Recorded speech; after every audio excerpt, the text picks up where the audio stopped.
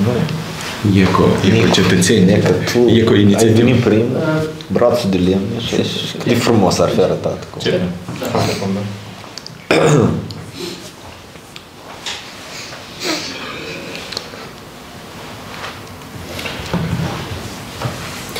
Bună dimineața, bine v-am găsit la conferința noastră organizată de a inițiativa civică Cetățeni pentru Europa. Astăzi am decis să facem o conferință de presă în care să a, facem un bilanț al campaniei pe care am desfășurat-o pe parcursul ultimelor deja aproape 5 luni. A, inițiativa noastră a fost anunțată la începutul lunii iunie. În tot acest timp a, s-au înscris foarte mulți oameni, deci avem peste 700 de voluntari care s-au înscris online a, să contribuie într-un fel sau altul la a, campania noastră de informare în contextul referendumului a, constituțional.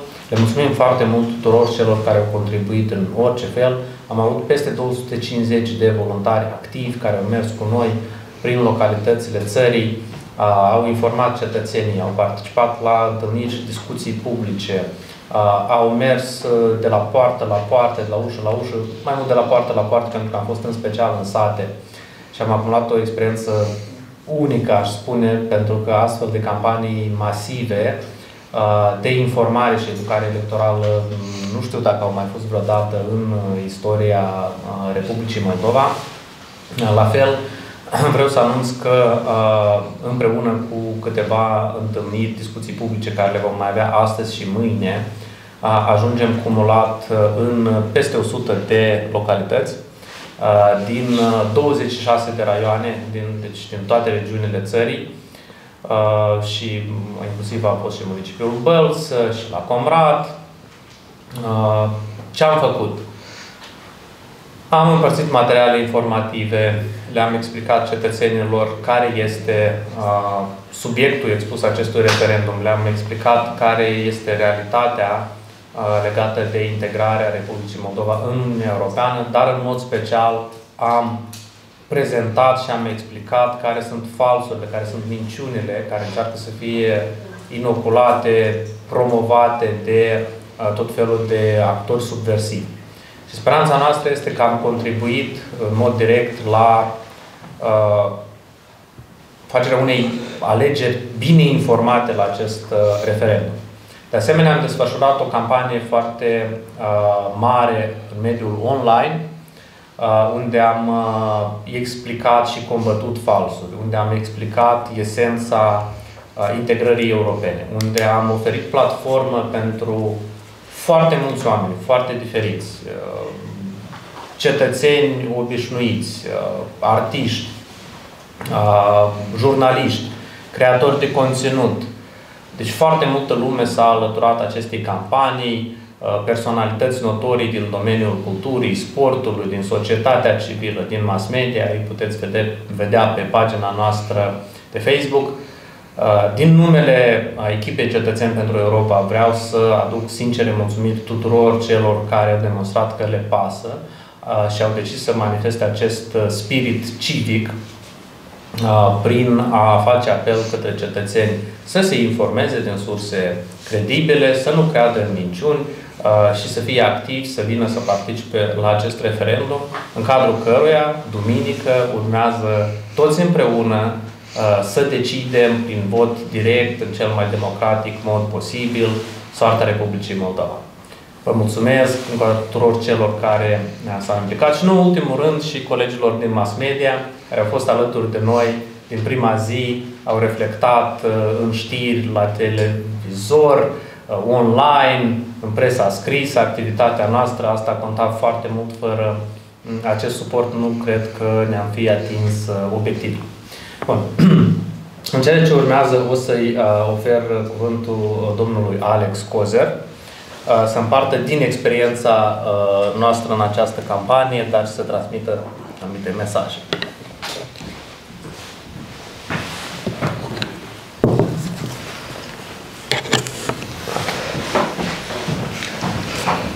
Bună ziua! Știți, în vară, atunci când noi lansam această inițiativă, ceva unic probabil până acum în Republica Moldova. Povesteam despre imboldurile care au stat în spatele implicării mele aici și aminteam că în ultimii 20 de ani, chiar fiind copil, adolescent, participam la marele manifestații de protest în susținerea democrației. Și au fost și la începutul anilor 2000 și 2009 și 2015 și așa mai departe. Și toate acele eforturi, într-un final, au adus anumite rezultate. Astăzi nu mai trebuie să ieșim în stradă, să stăm în corturi, să înghețăm pentru a ne apăra democrația și viitorul. Astăzi putem să facem acest lucru mergând la vot. Și asta chiar este un mare plus și o mare diferență față de ceea ce s-a întâmplat în ultimele decenii în Republica Moldova. Duminică, printr-un simplu vot, printr-un simplu efort de a ne deplasa câteva zeci, sute de metri aici în Republica Moldova, cei din diaspora poate un pic mai mult, noi putem să cimentăm parcursul nostru nu doar european, că asta așa sună un pic uh, chiar patetic de atâtea ori, parcurs european, parcurs european. Nu, în spatele expresiei parcurs european se ascund mult mai multe lucruri. Este vorba despre viitorul nostru prosper, liber, democratic, în pace, aici, la noi, acasă. Și repet, haideți de data asta să ne apărăm democrația și libertatea prin vot. Deoarece am văzut în această campanie electorală cum cei care vor răul Republicii Moldova investesc zeci de milioane de dolari în fiecare lună și o spun cu text deschis. Obiectivul principal al nostru este ca referendumul să nu treacă. Ați văzut investigațiile jurnalistice în care oamenii Moscovei cei la care ajung în fiecare lună cel puțin 15 milioane de dolari, spun obiectivul nostru numărul unu este referendum. Ca acest referendum să nu treacă. Pentru că Moscova, pentru că oligarhii, cei care vor răul țării noastre, înțeleg foarte bine că dacă noi reușim în această duminică, în primul rând, la referendum, să demonstrăm printr-un uh, rezultat impunător care sunt valorile noastre ale cetățenilor Republicii Moldova, atunci pentru ei, pentru propaganda lor, pentru minciuna lor, va fi mult mai dificil. Va fi mult mai dificil să găsești, să inventezi motive să ataci o țară care, la un referendum cu 70-80% din cetățeni, spun da integrării europene. Și asta este extrem de important. Iar toți cei care poate spuneți că, domne, da, o să meargă altcineva la vot sau nu este atât de important. Vă rog să urmăriți investigația ziarului de gardă. Să-i urmăriți pe eroii principali de acolo, pe Baba Raia, pe Sasha, pe Oleg și pe restul și să înțelegeți că Baba Raia și Sasha și toată rețeaua va fi duminică la vot și va fi împinsă pur și simplu din niște interese mercantile, de banii pe care oligarhii ruși și ai noștri îi împing aici pentru a ne distruge viitorul. Și mai imaginați-vă ceva, că al de Baba Raia vor fi mai mulți decât noi duminică. Ce se va întâmpla cu viitorul nostru? Ce se va întâmpla ulterior la alegerile parlamentare când ne vom trezi cu astfel de deputați, de primari în localitățile noastre? Ce se va întâmpla poate atunci când Aldișor și Plahotniuc vor fi primiți cu flori pe aeroport pentru că vor veni acasă, pentru că și-au luat țara înapoi. Astea sunt riscurile pe care noi le trăim la 20 octombrie dacă nu vom fi suficient de inteligenți, de demni, să mergem pur și simplu să introducem un buletin în vot, în uh, urna de vot.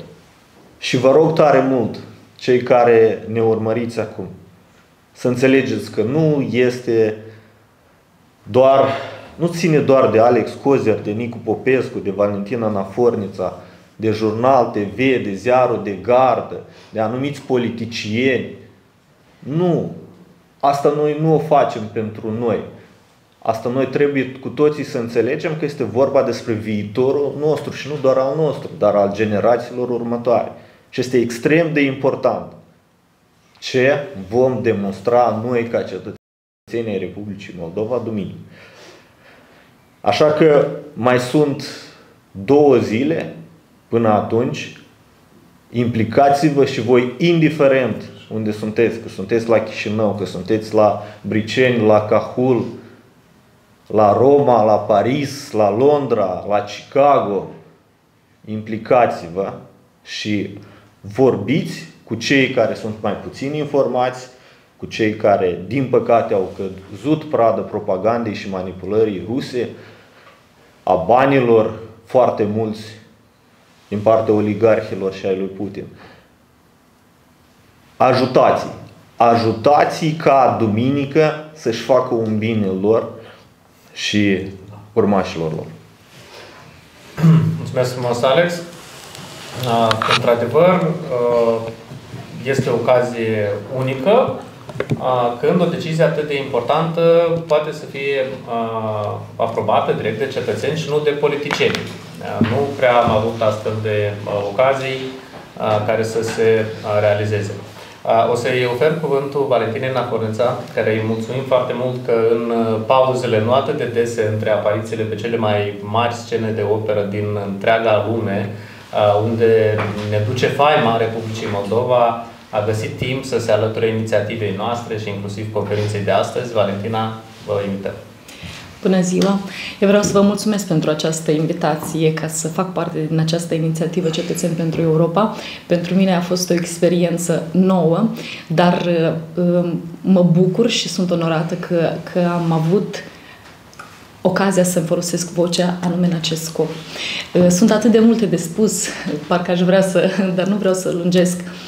Um, suntem pe ultima sută de metri, asta este clar și eu cred că suntem atât de privilegiați că avem dreptul la vot. Pentru că știm câte țări din lume încă sunt, uh, nu toți cetățenii au dreptul să voteze. Femeile nu au dreptul să voteze. Deci noi avem așa o ocazie și așa o oportunitate ca să decidem pentru noi viitorul, pentru copiii noștri, dar chiar și pentru bunicii copiilor noștri, părinții noștri, pentru că ne dorim ca și ei, bunei noștri, cât mai au de trăit să, să trăiască într-o țară prosperă, într-o țară frumoasă, să poată să călătorească liber, să poată să își vadă uh, familiile revenind înapoi acasă. Pentru că în cadrul acestei inițiative Cetățeni pentru Europa a fost lansată o campanie în rând cu lumea la care am participat și în care a, am cutreierat lumea uh, la propriu pentru că am mers peste ocean cu familia mea și am cântat acolo la Montreal și am cunoscut oamenii din Montreal și uh, îi văd cu câtă, cu câtă dragoste vorbesc despre țara lor și într-adevăr își doresc să se întoarcă acasă. Este dificil. Da, noi am putea spune, păi de ce nu se întorc? Pentru că nu sunt aceleași condiții, din păcate. Nu avem aceleași oportunități încă acasă în Republica Moldova. Eu am întors, eu locuiesc în Chișinău și um, găsesc acasă căldura pe care nu o pot să o găsesc în altă parte. Mă, mă încarc de energie și pot să merg mai departe, să cânt sau chiar și acasă, dar eu mi-aș dori să fac mai multe lucruri acasă, să cânt mai mult acasă, să am oportunitățile și șansele pe care le am acolo. Și nu este imposibil, este posibil. Și doar noi putem să ne construim aceste posibilități și, și a, această libertate și lume frumoasă acasă, mergând la vot și votând da pentru Uniunea Europeană. Și faceți lucrul acesta pentru că eu, din experiența proprie, pot să spun că da, eu am locuit, am luat educația de acasă, din, din Republica Moldova, de la părinții mei. Um, sunt un artist autentic, oamenii văd, văd ceva ce poate nu văd la alți artiști, dar dacă nu studiam în București, fiind uh, România pe atunci deja uh, o țară din Uniunea Europeană, eu nu ajungeam să am aceste uși, oportunități ca să ajung acum să, să fiu cine sunt. Și uh, practic Astea sunt adevărurile, nu falsurile care circulă și pe care le auziți dumneavoastră. Ăsta este adevărul. Sunt cine sunt și datorită um, oportunităților și șanselor pe care mi le-a oferit um, Europa sau școala sau conservatorul la care am studiat desigur, și cu, cu educația și cu școala pe care am avut-o acasă. Însă pot să zic că totul poate să fie mult mai ușor și să nu ne rupem în, în, în, în coate și să ne zbatem atât de mult cum, cum se zbat astăzi copiii noștri, noua generație, ca să răzbată, ca să poate mulți își doresc să rămână acasă, însă efectiv nu văd de ce, pentru că nu au aceste oportunități. Noi trebuie să le creăm acasă, noi trebuie să... Și acum, efectiv, avem șansa să facem acest lucru. Deci, înainte, poate nu-l aveam și stăteam și ce să facem? Hai să plecăm, asta este, ori care rămâneau, încercau să se zbată ca peștele pe uscat. Acum, însă, avem pur și simplu această șansă fantastică. Și eu spun asta cu mare emoție în suflet și cu o mare speranță și cu mare optimism că luni, când ne vom trezi, o să avem un rezultat superb și rezultatul ăsta um, va schimba um, viața, va schimba viitorul țării noastre și vă îndemn cu, cu tot dragul și cu toată încrederea să faceți acest lucru și să mergeți uh, la vot pe data de 20 octombrie și să votați da pentru Uniunea Europeană. Vă mulțumesc!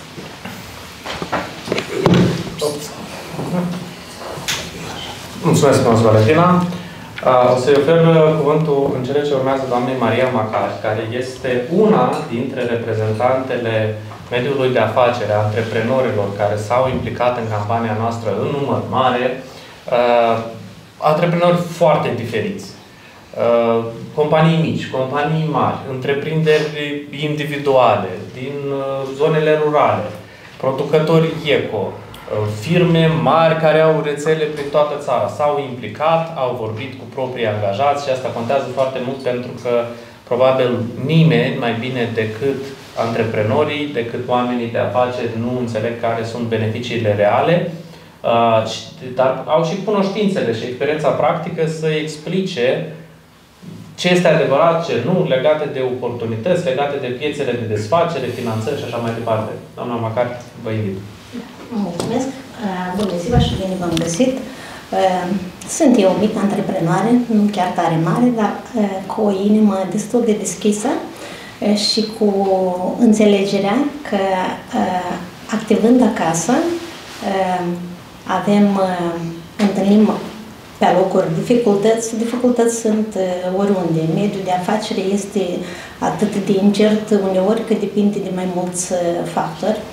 Uh, noi ne dăm tare bine seama că um, Moldova uh, deja și-a creat un curs european și noi uh, nu putem să dăm înapoi. Și este cert că deja mulți dintre antreprenori deja au activități în Europa, au piețe de desfacere, ceea ce este bine, dar vrem să fim mai mulți acolo, vrem să avem uh, mai multe deschideri către piețele europene, vrem să uh, beneficiem de mai multe suporturi, fiindcă uh, Uniunea Europeană uh, ne oferă aceste șanse, uh, vrem uh, o viață pentru antreprenori, nu atât pentru dezvoltarea afacerilor, cât și pentru noi ca cetățeni să avem uh, Uh, o altă alegere, o altă deschidere, să beneficiem de oportunități, fiindcă discutând cu oamenii din domeniul antreprenorial, uh, au fost și din cei care uh, au înțeles pe parcursul activității noastre de patru luni de a informa lumea, de a mă spune ce este bine, ce este mai puțin bine, sau au fost și dintre cei antreprenori care au ezitat, au avut diferite divergențe. Da, drumul nu este ușor. Nimeni n-a spus că tot o să ne vină gata pe farfurioară. Pentru asta trebuie să muncim. Fiecare la locul lui de muncă. Că ești tu antreprenor, că ești tu cetățean de rând, fiecare trebuie să aibă o mică contribuție. Marja sa de, de, a, de a se înainta în acest drum care este deja croit și Noi avem această oportunitate acum, noi avem această șansă și noi nu trebuie să o ratăm, fiindcă dacă ratăm acum, nu știm dacă ea va mai fi. Trebuie să riscăm într-un fel, să ne asumăm această responsabilitate, să ne asumăm uh, altfel un pic de condiții, că Uniunea Europeană uh, nu ne așteaptă nimeni acolo, așa să zicem că cu totul gata. Oricum, contribuția noastră va fi munca, munca noastră uh, și noi o să trebuiască să ne conformăm acestor uh, reguli care, uh, deja urmându-le, ne vor oferi alte oportunități, alte șanse, alte piețe de desfacere și noi uh, vom fi și noi în rând cu, ca lumea, cu lumea și ca lumea și vom uh, încerca uh, să demonstrăm că și noi putem să fim acolo unde sunt ei și noi putem să facem parte din această familie mare și noi merităm să fim acolo, dar doar de noi depinde.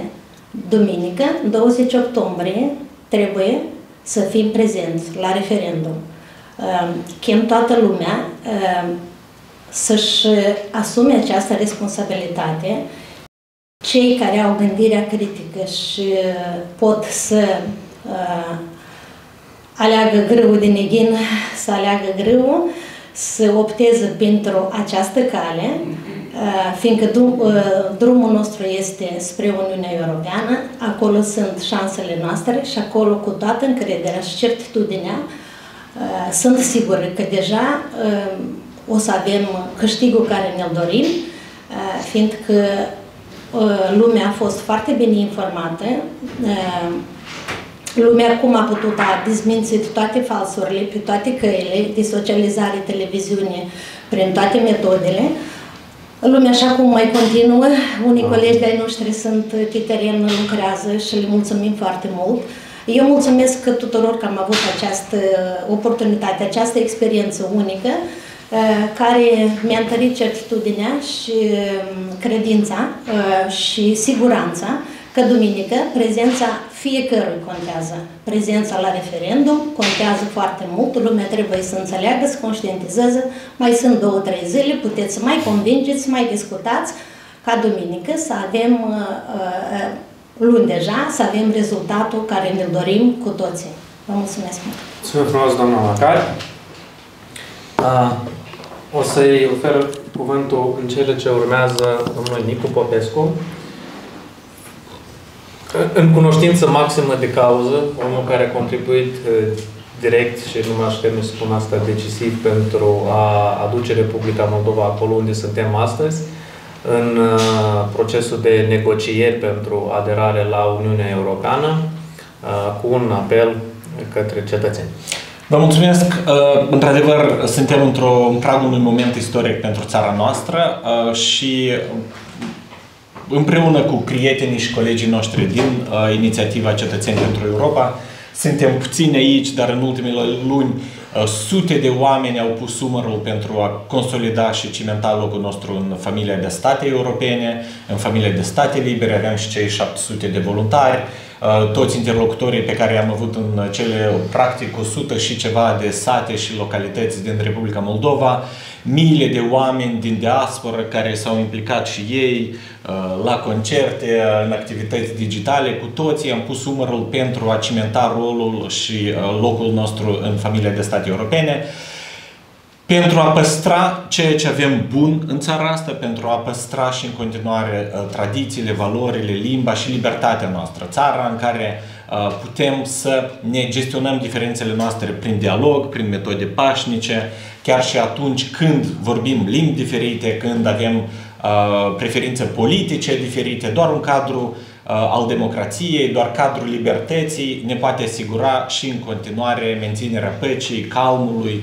stabilității, respectului reciproc între absolut toți cetățenii noștri și este o realizare pe care trebuie cu toții să o uh, respectăm și să o păstrăm și în continuare, în condițiile în care uh, tentativele de a ne diviza de a ne învrăjbi sunt foarte agresive, sunt foarte bine finanțate, cum a, a redescris și domnul Cozer și evident am văzut și investigațiile recente, tentativele de, de a ne dezbina prin dezinformare, prin minciuni, dar în același timp sunt absolut încrezător, inclusiv în urma experiențelor pe care le-am avut cu toții în ultimele luni, că oamenii noștri știu că vor cu toții să trăiască într-o țară calmă, pașnică, liniștită, democratică, liberă și doar Europa ne poate asigura aceste condiții, doar Europa ne poate asigura păstrarea acestui calm și liniște ale noastre și evident doar Europa ne poate asigura că în baza acestor realizări pe care avem putem construi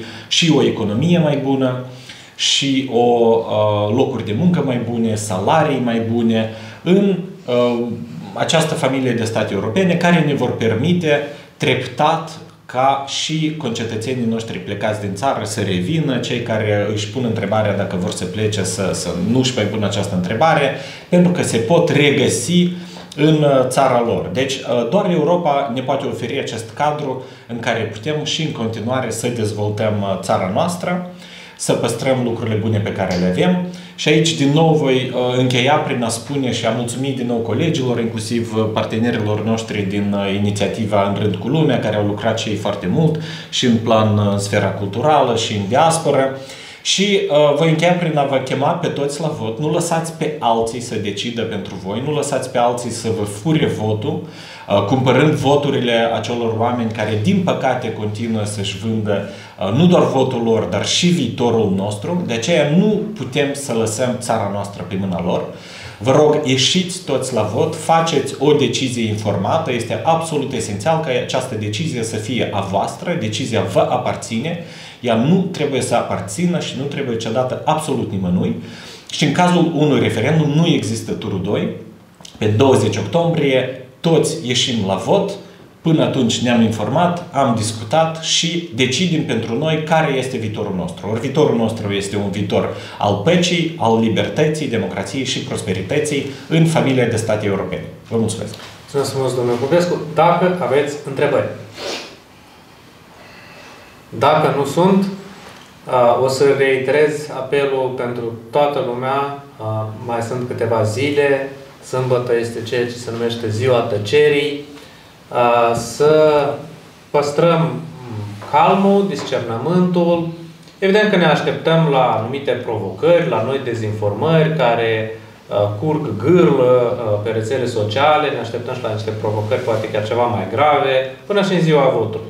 Important este să ne păstrăm calmul, rațiunea, să discutăm în familiile noastre în ultima zi, pentru că urmează să decidem viitorul pentru toți, pentru copiii noștri, pentru noi și pentru părinții și buneii noștri.